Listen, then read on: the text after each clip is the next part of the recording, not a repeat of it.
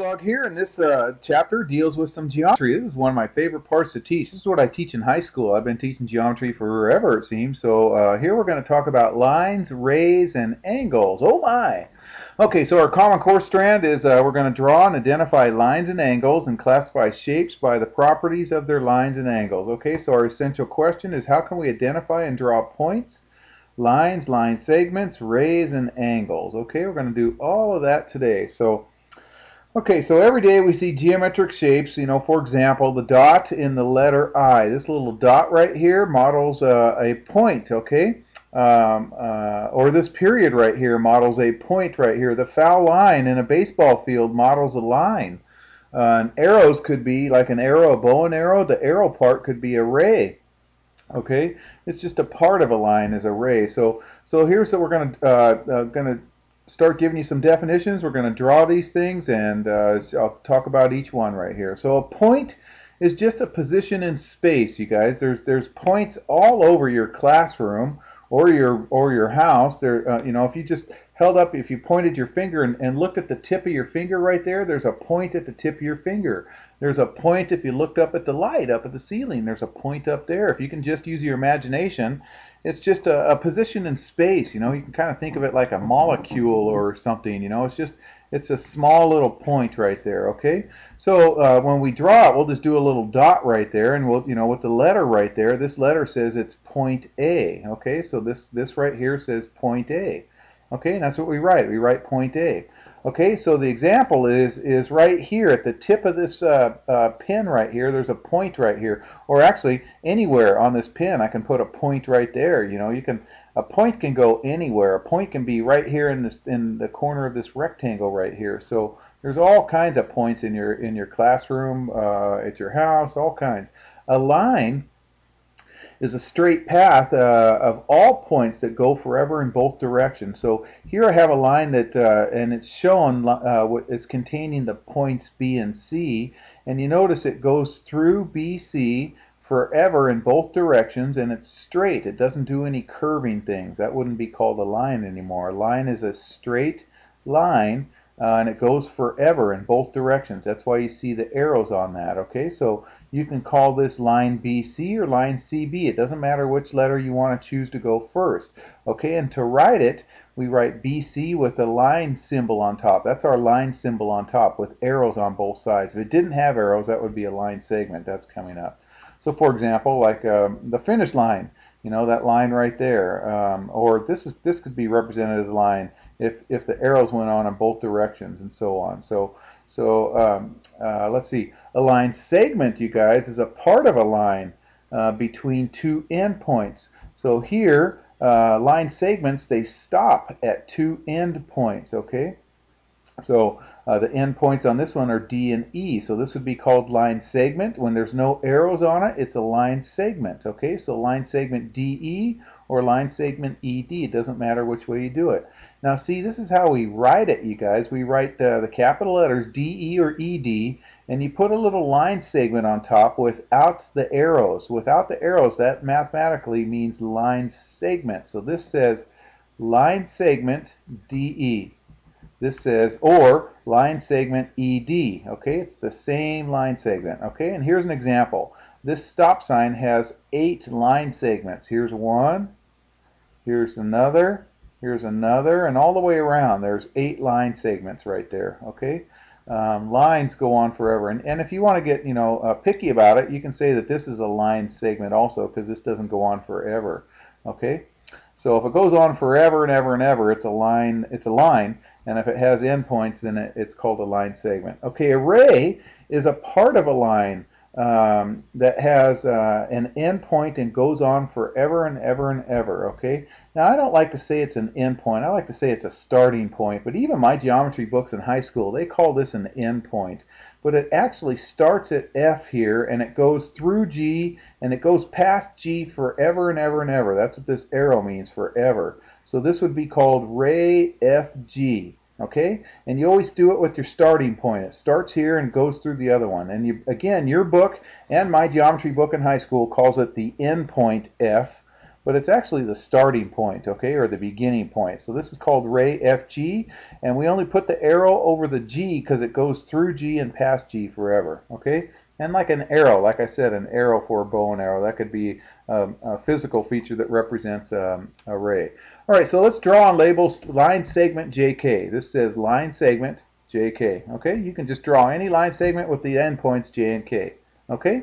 All right, nice and easy. Is there another way you can say line segment JK? You bet. You can call it by switching the letters. You can call it line segment KJ. So I start here and it ends here. Line segment KJ. Okay, so when naming a line segment, either point can be named first on that. All right, so explain how lines, line segments, and rays can be related. Okay, so a ray is just a part of a line. So here's ray AB. Okay, starts at A and it goes through B, past B forever and ever. So there's uh, that's why it says uh, we got the arrow going through B. So this would be ray AB, which is written like this. So recognize this says ray AB. This right here says it's a ray because there's an arrow only on one side.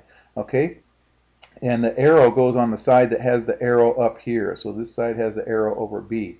So ray AB. And this tells me right here that A is the starting point. If there's not an arrow right there, so there's an end point at A, but it actually starts at A and goes through B. Okay, so um, and and ray AB is a part of line. So pretend like uh, that green part is a part of that line right there. Can you see line AB? So ray AB is a part of line AB, and the direction said, how can we relate these to lines and line segments? Okay, so over here I have line segment CD. Okay, I'm sorry, line, line. This represents line CD, or we can call it line DC. It doesn't matter which you want to start. So from this, I can get um, uh, uh, ray. Here's ray CD, starting at C, going towards D and past D. That's what this says right here. The arrow goes through D. So you start it at C, and then it goes through, the arrow goes through D. Or you can start it at D, and then go through. So this one says starts at D, goes through C. So here's D, goes through C. So here's here's ray DC. Starts here and goes this way. Okay? Here's ray CD. Starts at C and goes this way. Okay? So these guys are going in opposite directions. Okay? All right. So a line segment can be part of a line or a ray or another line segment. So Let's see, what did I do on this one? Did I do that? Yeah, so above, over here, I can, I can get line segment AB, okay? This says line segment AB, okay? And it's the same as line segment BA, okay? AB, line segment BA, and line segment AB are the same. Up here, I can get line segment CD or line segment DC, okay? Notice uh, no arrows on it means line segment. Get used to writing that. Uh, you're going to have to get used to writing all that, okay? All right, so definition, an angle formed by two rays or segments uh, that have the same endpoint, it's called the vertex. So here's an angle. It's formed by two rays, ray QR and ray QP, and has the same endpoint, and it's actually the same starting point, you guys. I like to call the same endpoint means the same starting point. They start at this point right here, and then the ray is QP, and ray QR right there, okay? And so the vertex, you guys, is, is vertex Q, okay? The same endpoint, the same starting point is the Q is called the vertex right here, okay? So you can read it as angle PQR or angle RQP, or in this case, you can call it angle Q right here, okay?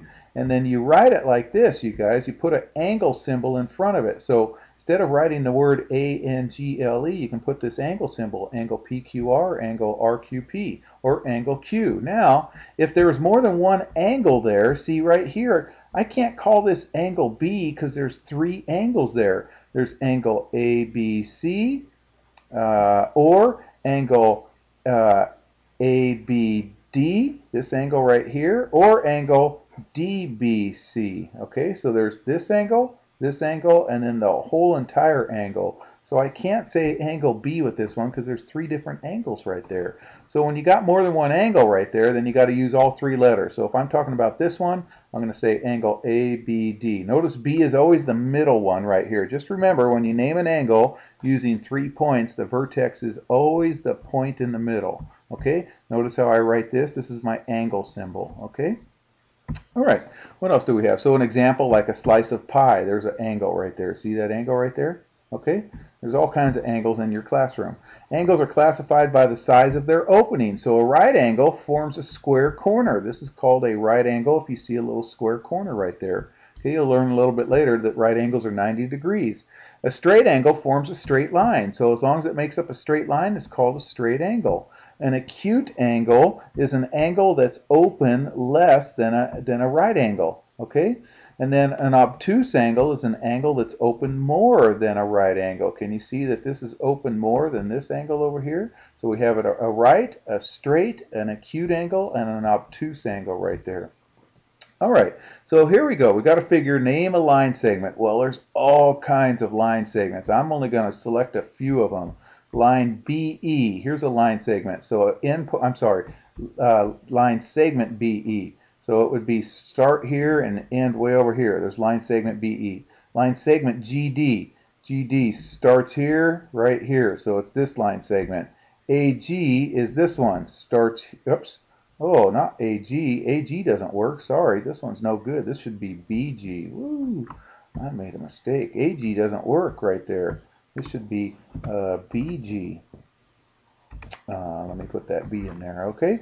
That should be line segment BG, so BG right there, okay? Name a right angle. All right, my right angle is right here, okay? See that right angle right there? So angle BGD, okay? Name an obtuse angle. Okay, my obtuse angle is not this one. This is also a right angle on this side over here. In fact, these are all right angles right here. We'll talk about that later right there. If you have two intersecting lines and one's a right angle, all four of them are right angles. So these are all right angles. Here's the obtuse angle right here. It's open more than the right angle. So angle CBD. Okay? In fact, I highlighted it right there in red. Name a ray. Okay, there's all kinds of rays. There's one ray, ray GH. Notice I started at G, goes through H, and forever past H. So the arrow goes over the H right there. Starts at G and goes through. So ray GH. Here's another one. Ray BA. Starts at B, goes through A, the arrow goes over A. Okay, the arrow goes over A. Oops, I got company here. Uh, here's another one. I have company. I'm going to answer that later. Okay, and then there's another one, and there's infinitely many more. Okay, so classify uh, these angles. Angle AFG. Okay, here's AFG. That's an obtuse angle. Okay, how about CFE? That's a right angle right there. How about uh, two acute angles? I'm going to show you several acute angles. There's one acute angle right there. I think it was UPS leaving a package. There's one acute angle. Okay, here's another acute. So notice it goes angle DFE. I could have said angle EFD if I wanted to. It's the same angle. Here's another acute angle. It's just less than 90. It's open less than 90. Here's another one. Angle DFC. Okay, there's another one right there. Here's another right angle, or acute angle. Okay, as long as it's open less than 90, angle uh, CFB. Notice B is always in, or F is always in the middle. It's always the vertex right there. Here's another one right there, okay? So it said name two, well, I just showed you four. Okay, so angle BFA. I can say angle AFB also. That's the same angle right there. All right, okay, if you finding these uh, videos helpful, I would appreciate if you can put like on that, okay? Take care, everybody.